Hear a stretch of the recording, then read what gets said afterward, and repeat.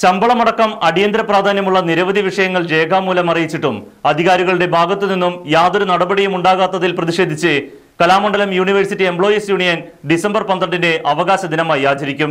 ഇതേ തുടർന്നും പ്രശ്നപരിഹാരം ഉണ്ടായില്ലെങ്കിൽ കലാമണ്ഡലത്തിന്റെ പുറം പരിപാടികൾ ഉൾപ്പെടെയെല്ലാം ബഹിഷ്കരിക്കുമെന്നും യൂണിയൻ പ്രതിനിധികൾ വാർത്താ സമ്മേളനത്തിൽ അറിയിച്ചു. Kalamandalam university employees union secretary doctor K Kanakakumar joint secretary Harinarayanan treasurer Sreenath എന്നിവർ ചെറുതുരുത്തിയിൽ നടന്ന വാർത്താ സമ്മേളനത്തിൽ പങ്കെടുത്തു.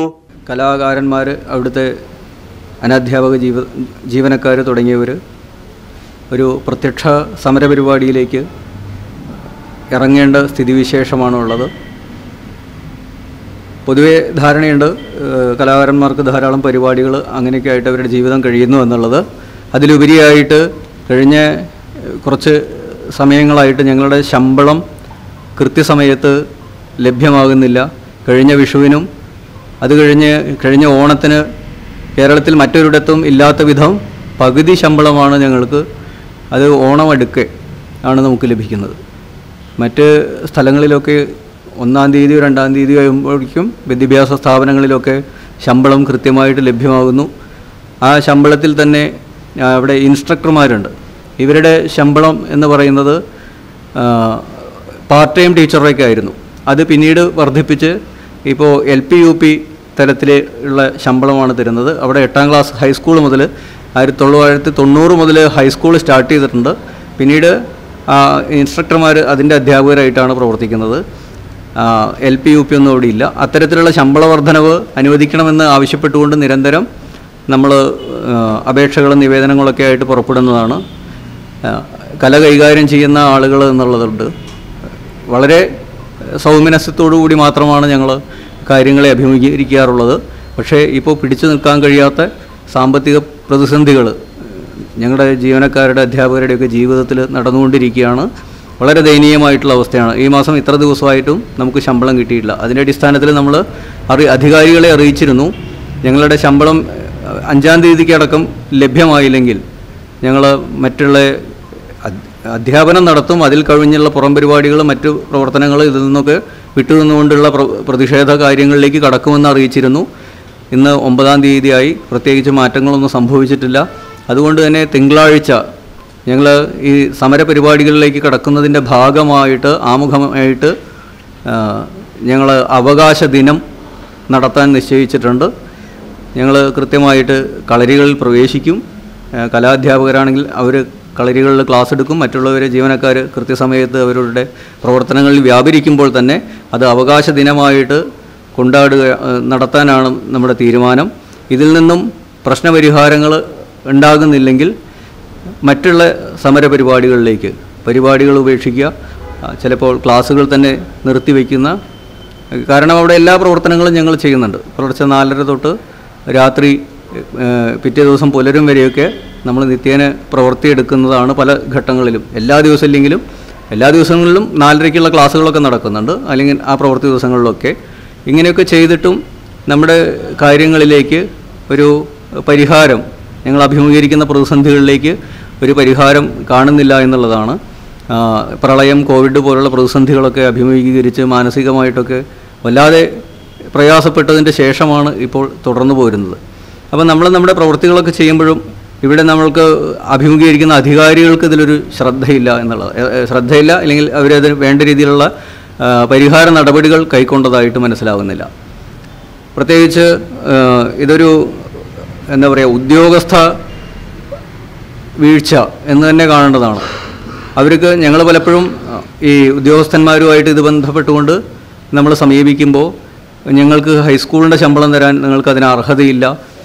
അതുപോലെ യൂണിവേഴ്സിറ്റി അധ്യാപകരുടെ മറ്റ് യൂണിവേഴ്സിറ്റി അധ്യാപകരുടെ ശമ്പളം തരാൻ അർഹതയില്ല എന്നൊക്കെ പറയുന്ന പ്രവണത കുറച്ച് കാലങ്ങളായിട്ട് നമ്മൾ നേരിട്ട് അഭിമുഖീകരിക്കുന്നതാണ്.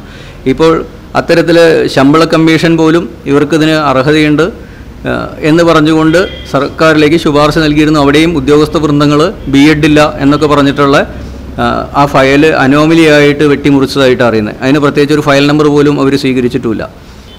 കലാകാരന്മാരോടൊക്കെ ഉദ്യോഗസ്ഥ വൃന്ദങ്ങളിൽ നിന്നുള്ള വളരെ കാര്യമാത്രമായിട്ടുള്ളൊരു അനുഭാവപൂർണമായിട്ടുള്ളൊരു പരിഗണന അല്ലെങ്കിൽ സമീപനമാണ് മിക്കവാറും ഉണ്ടാകുന്നത് എന്ന് പറയാൻ കഴിയില്ല. കാരണം ഞങ്ങളോട് പോലും ഞങ്ങളെ സമീപിച്ച സമയത്ത് അങ്ങനെയാണ് അവർ പെരുമാറിയത്. അപ്പോൾ കേരളത്തിലോ രാജ്യത്തെവിടെയോ ഇത്തരം കലകളിൽ കഥകളിയിലും കൂടിയാട്ടത്തിലോ ഒന്നും ബി എഡ് എന്ന് പറഞ്ഞൊരു കോഴ്സില്ല. അങ്ങനെ ഉണ്ടായിരുന്നെങ്കിൽ ഞങ്ങൾക്കത് പഠിക്കാൻ അല്ലെങ്കിൽ നമ്മുടെ പൂർവികന്മാർ തൊട്ട് അത് ശ്രദ്ധിക്കുമായിരുന്നു. ഇപ്പോൾ സ്കൂൾ തുടങ്ങിയ സ്ഥിതിക്ക് ആയിരത്തി തൊള്ളായിരത്തി തൊണ്ണൂറിൽ ഇത്തരത്തിൽ അത് ഹൈസ്കൂളിന്റെ ശമ്പളം അനുവദിച്ചു കൊടുത്തതാണ്. നമ്മുടെ റിട്ടയർഡ് ചെയ്ത ലോകപ്രസിദ്ധനായ പത്മശ്രീ കലാമണ്ഡലം ഗോപിയാശാനടക്കം അതിന്റെ അരിയേഴ്സും ആ പ്രിൻസിപ്പാളുടെ ശമ്പളമൊക്കെ അക്കാലത്ത് മേടിച്ചാണ്. പിന്നീടത് ഇത്തരത്തിൽ വെട്ടിച്ചുരുക്കി വെട്ടിച്ചുരുക്കി ഒമ്പതാം ശമ്പള പരിഷ്കരണം എത്തിയപ്പോഴേക്കും അതൊക്കെ കീഴ്ത്തട്ടിലേക്ക് പോവുകയും അങ്ങനെ വീണ്ടും തുടക്കക്കാരുടെ അവസ്ഥയായി. പൂർവകാലത്തിന്റെ വേറൊരു വശത്തിലേക്ക് ഞങ്ങൾ അധപതിച്ച് ഞങ്ങളുടെ സാമ്പത്തിക ജീവിത പശ്ചാത്തലം. ഭൗതിക ജീവിതം അത്തരത്തിൽ താറുമാറാക്കപ്പെട്ടിട്ടുണ്ട് എന്നുള്ളതും കൂടി അറിയിക്കുകയാണ്. അത്തരം പ്രതിസന്ധികൾ അപ്പോൾ കാലാനുസൃതമായിട്ട് ഗ്രാൻഡ് വർദ്ധിപ്പിക്കുക അതുപോലെ ശമ്പളം കൃത്യമായിട്ട് ലഭ്യമാക്കുക ഇൻസ്ട്രക്ടർമാരുടെ ശമ്പളം ഹൈസ്കൂൾ ടീച്ചേഴ്സിന്റെ ആക്കിയിട്ട് സെക്കൻഡ് ഗ്രേഡ് ഇൻസ്ട്രക്ടർമാരുടെ അത് പരിവർത്തനം ചെയ്യുക. യു ജി സിയുടെ ഏഴാം ശമ്പളം അംഗീകരിക്കപ്പെട്ടിട്ടുണ്ട്. പക്ഷേ അതിവിടെ നടപ്പിലായിട്ടില്ല. ഇതുവരെയും കിട്ടിയിട്ടില്ല. ഒരു അരിയേഴ്സ് എന്ന് പറയുന്നത് ഇതുവരെയും പതിനൊന്നാം ശമ്പളമൊക്കെ നിലവിൽ എൽ പി യു പിയുടെ പതിനൊന്നാം ശമ്പളത്തിന്റെ കഴിഞ്ഞിട്ടുള്ള ആ അരിയേഴ്സ് പോലും നമുക്ക് കിട്ടിയിട്ടില്ല. മറ്റ് സ്ഥലങ്ങളിലൊക്കെ വലിയ വലിയ അനോമലി വലിയ വലിയ ആളുകളുടെ പ്രശ്നങ്ങളാണെങ്കിൽ കലാമണ്ഡലത്തിൽ വളരെ ഇപ്പോൾ ഇൻസ്ട്രക്ടർമാരെന്ന് പറഞ്ഞൊരു മുപ്പത്തിയഞ്ച് താഴെ ആളുകളേ ഉള്ളൂ. അപ്പോൾ അവരുടെ പ്രശ്നങ്ങൾക്ക് ഒരു പരിഹാരം ഉണ്ടാവും. യു ജി സിയിലും പത്ത് ഇരുപത്തിരണ്ടോ അത്രയൊക്കെ ആളുകൾ യു ജി സി പാറ്റേണിലും വരുന്നുള്ളൂ. അല്ലെങ്കിൽ ഒരു മുപ്പത്തഞ്ചോളം ഓഫീസ് സ്റ്റാഫുകളടക്കം അങ്ങനെയൊക്കെ വരുന്നുള്ളൂ. ഒരു നൂറിൽ താഴെ ആളുകളുടെ പ്രശ്നങ്ങൾ അഭിമുഖീകരിക്കുകയാണ് അപ്പോൾ കലാമണ്ഡലം യൂണിവേഴ്സിറ്റി എംപ്ലോയീസ് യൂണിയൻ അതിന്റെ പ്രതിഷേധത്തിന്റെ പ്രാരംഭ പ്രവർത്തനം എന്നുള്ള നിലയ്ക്ക്. നമ്മൾ സ്വാഭാവികമായിട്ട് ഒരു ദിവസം ചാടി ഇറങ്ങുന്നതല്ല. നിരവധി തവണ അപേക്ഷകൾ നമ്മൾ അധികാരികളുടെ അടുത്ത് കൊടുത്തിട്ടുണ്ട്. നമ്മുടെ ഗവൺമെന്റിലേക്കും നിവേദനങ്ങളൊക്കെ സമർപ്പിച്ചിട്ടുണ്ട്. ഗവൺമെന്റ് അനു അനുഭാവപൂർവം പരിശോധിക്കാം പരിഗണിക്കാം എന്ന് പറഞ്ഞിട്ടുള്ളതാണ്. പക്ഷേ ഇതിനെ ഒക്കെ തകിടം മറിക്കുന്ന പ്രവണതയാണ് നമ്മൾ ഈ ഫയലുകളൊക്കെ എത്തുമ്പോൾ ഓരോ സ്ഥലത്തും ഉദ്യോഗസ്ഥർ അതിൽ പലതവണ വെട്ടിയിട്ട് അതിനെ താറുമാറാക്കി അനോമലിയാക്കി മാറ്റുക എന്നിട്ട് അതിന് കുറേ കാലം നമുക്ക് താമസം വരുത്തുക അരിയേഴ്സായിട്ട് ലഭിക്കില്ല. ഇപ്പോൾ നിയമനം നടന്നിട്ട് വളരെ കുറച്ച് കാലമേ ഉള്ളൂ. കുറച്ച് പേര് തന്നെ വളരെ പ്രായാധികം ഇനി അങ്ങോട്ട് പെൻഷനൊന്നുമില്ല അങ്ങനത്തെ ഒരു നാഷണൽ പെൻഷൻ സ്കീം എന്ന് പറയുന്ന ഒരു അവസ്ഥയൊക്കെ ഉണ്ടെങ്കിലും അത് എത്രമാത്രം നമുക്കൊക്കെ ഗുണകരാവുന്നറിയില്ല അറിയില്ല. അങ്ങനത്തെ പ്രതിസന്ധികൾ ഉള്ളൊരു കാലം. അപ്പോൾ ഇത് പരിഹരിക്കാതെ അവർ അതിൽ അനോമലികൾ സൃഷ്ടിച്ച് അരിയേഴ്സും കിട്ടാതെ ഈ ആളുകൾ ചിലർക്ക് ഇനി ഇപ്പോൾ പത്ത് വർഷം പോലും സർവീസ് കിട്ടാത്ത അല്ലെങ്കിൽ ആ തരത്തിലൊക്കെ ആളുകളുള്ള അവസ്ഥയാണ് ഇപ്പോൾ സർവീസ് കയറിയിട്ടുള്ളത്. കഥകളി കൂടിയാട്ടം മറ്റ് കലാരൂപങ്ങളിലേക്ക് കലാകാരന്മാർ അപ്പോൾ അവരെ സംബന്ധിച്ച് കിട്ടാവുന്ന ആ ഒരു എന്താ പുതുക്കിയ ഒരു ശമ്പള സ്കെയിൽ നമുക്ക് അർഹതപ്പെട്ട ഹൈസ്കൂളിന്റെ ആ ശമ്പളം പ്രാതി മിനിമം അതെങ്കിലും നമുക്ക് അനുവദിച്ച് കിട്ടേണ്ടതുണ്ട് നടപ്പിലാക്കി കിട്ടേണ്ടതുണ്ട്. അതുപോലെ ഈ അരിയേഴ്സിന്റെ പ്രശ്നം മാസം പൂർത്തിയാകുമ്പോൾ അടുത്ത മാസം നമുക്ക് ഒന്നാം തീയതി കിട്ടിയാലും രണ്ടാം തീയതിയിലും ശമ്പളം കിട്ടുന്ന ഒരു അവസ്ഥയിലേക്ക് മാറാതെ. കാരണം ലോണും കടങ്ങളും മറ്റു പ്രശ്നങ്ങളും ഒക്കെയായിട്ട് ജീവിക്കുന്ന ജീവനക്കാരാണ്. ഇതിനൊരു പരിഹാരം ഉണ്ടാക്കുന്നതിന് വേണ്ടിയിട്ടാണ് നിർവാഹമില്ലാത്തൊരു ഘട്ടത്തിലാണ്.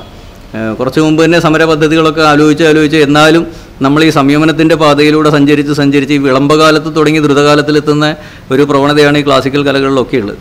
അപ്പോൾ അതിന്റെ ഒരു വിളമ്പതയായിരിക്കാം സ്വയം പാകപ്പെടുന്ന ഒരു അവസ്ഥയാണ് എല്ലാവരും. ഇപ്പോൾ സമൂഹത്തിൽ പൊതുവേ നമ്മൾ നല്ല കുട്ടികളുടെ ഒരു ഭാഷയാണ് നമുക്ക് ശീലം. അങ്ങനെയാണ് നമ്മൾ ഗുരുമുഖങ്ങളിൽ നിന്നൊക്കെ പഠിച്ചു വരുന്നത്. അതുകൊണ്ട് തന്നെ ഈ പ്രതിഷേധം പ്രതികരിക്കുക എന്നൊക്കെ പറയുന്നത് പെട്ടെന്ന് ചാടിക്കേറി ചെയ്തൊരു ശീലങ്ങൾ ഞങ്ങളുടെ ഒരു സംസ്കാരത്തിലില്ല. പക്ഷേ ഒരു രക്ഷയില്ലാത്തൊരു സാഹചര്യത്തിലേക്ക് നീങ്ങിക്കൊണ്ടിരിക്കുമ്പോൾ നമുക്ക് കാരണം നിരവധി സമൂഹങ്ങൾ സമരങ്ങളിലേക്ക് ഇറങ്ങുന്നുണ്ട്. അവരുടെ ആവശ്യങ്ങൾ. ഞങ്ങൾ അവിടെ ചെന്ന സമയത്ത് ഞങ്ങളോട് പറഞ്ഞ ചില ഉദ്യോഗസ്ഥർ പറഞ്ഞതാണ് അപ്പുറത്ത് സമരങ്ങൾ നടക്കുന്നുണ്ട് ഇവിടെ നടക്കുന്നുണ്ട് അതൊന്നും പരിഹരിച്ചിട്ടില്ല. നിങ്ങളുടെ ഇതൊന്നുമില്ല. സാമ്പത്തിക പ്രതിസന്ധി സർക്കാരുണ്ട്. സർക്കാർ ഉണ്ടെങ്കിൽ പോലും സർക്കാർ പലപ്പോഴും നമ്മുടെ കാര്യങ്ങൾ ഇപ്പോൾ നമുക്ക് ഈ പതിനൊന്ന് പതിനൊന്നാം ശമ്പളം അനുവദിക്കുന്ന കാര്യത്തിൽ പോലും സർക്കാരിന്റെ അനുഭവപൂർണമായിട്ടുള്ള സമീപനം കൊണ്ടാണ് നടന്നത്. അവിടെയും ഈ ഇത് നമുക്ക് തരാൻ പറ്റൂല്ലേ എന്നൊക്കെ പറഞ്ഞ് കുറേ താമസം വരുത്തിയിരുന്നു. നമ്മുടെ ഫയലുകൾ നീങ്ങില്ല. അങ്ങനെ നീക്കാതെ വെച്ച് താമസിപ്പിക്കുന്ന കുറേ കാര്യങ്ങളൊക്കെ ഉണ്ട് ന്യൂസ് ചെറുതുരുത്തി.